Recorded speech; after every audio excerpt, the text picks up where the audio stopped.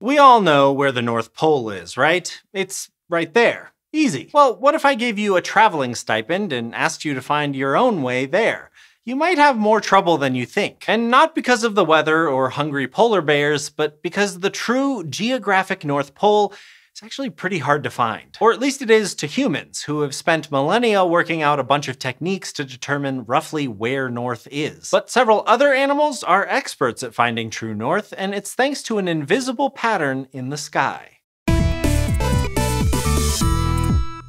North is so important to the history of navigation, it's sometimes the only direction you find labeled on a map. But actually finding true north has never been straightforward. Take navigating by the stars, for example. It's a classic technique used by cultures around the world for millennia. And for the past few hundred years, if you wanted to find true north, you could get most of the way by pinpointing the star Polaris and following it until it's directly over your head. But not only would you not find yourself exactly at the North Pole, such a technique only works when the sky is dark and sufficiently cloud-free. Meanwhile, a compass can't tell you where a geographic pole is because it tells you where a magnetic pole is. And not only is Earth's northern magnetic pole about 450 kilometers from true north right now, its position is constantly changing. Now, we can and do correct for this offset, but there's another hitch. Since compasses are affected by magnetism, they can be led astray by nearby magnets or even iron-bearing rocks.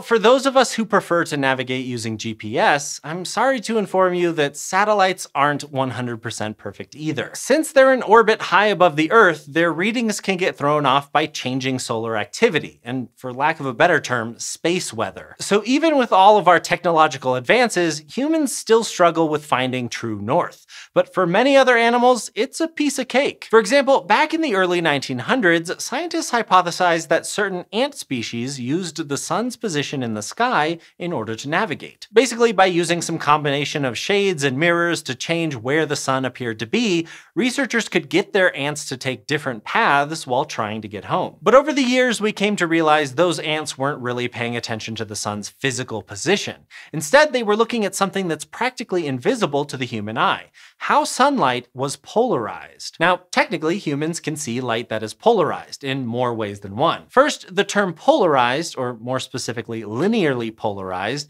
just refers to the fact that all the light waves are vibrating along a single plane, instead of radiating in every direction willy-nilly. Plus, if we look really, really hard, we can also kinda tell when two bunches of light are polarized differently from one another. But certain ants are way better at that second part, and in one paper published back in 2006, researchers trained a bunch of desert ants on either direct sunlight, polarized skylight, or both, and looked at how this affected their navigation skills. And while it was clear these ants can use both the sun and polarization data, the latter appears to take precedence. For example, the ants that were trained using both light sources and then forced to find their way home using only sunlight had a bit of a struggle. But it's not just ants that can tell how light is polarized. Some migratory songbirds can as well. And to travel those great distances without winding up in completely the wrong place, they can continually update their knowledge of where north is based on patterns of polarized light that stretch across the sky. This is skylight polarization, and it's created by the same process that makes the sky blue. Before sunlight can get to stuff on the Earth's surface, like your face,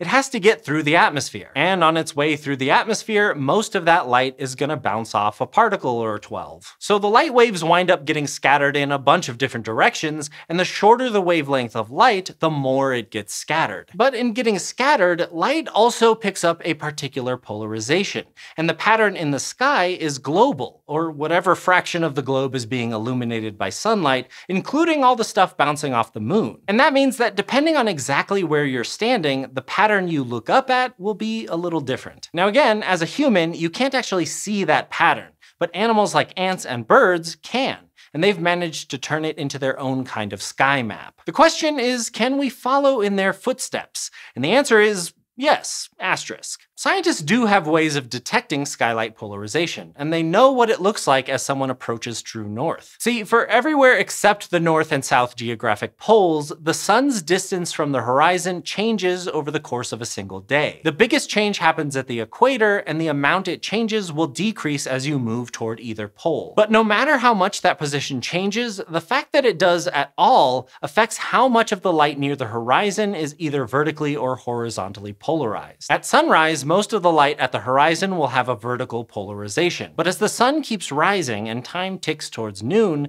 that mostly vertical polarization at the horizon has swapped itself out for being a mostly horizontal polarization. And the same thing happens as we approach sunset, but in reverse. And then rinse and repeat the day after that and the day after that. But if you plop yourself down at either geographic pole, this daily rising and setting just doesn't happen. So the polarization pattern around you never really changes. Instead, Instead, it just rotates around this invisible point way above your head. So for every latitude on Earth, with the right equipment, you can basically take a few snapshots of polarized skylight at different points in time and work out your position relative to the nearest pole. One team tested this out and published their results back in 2023. They used a special camera and an algorithm dubbed SkyPole, and could figure out where true north was within a few degrees. Now, that might not sound very impressive when you hear that other techniques can tell you true north to within within 0.1 degrees. But those use skylight polarization in addition to other data points. This SkyPole team is trying to pinpoint north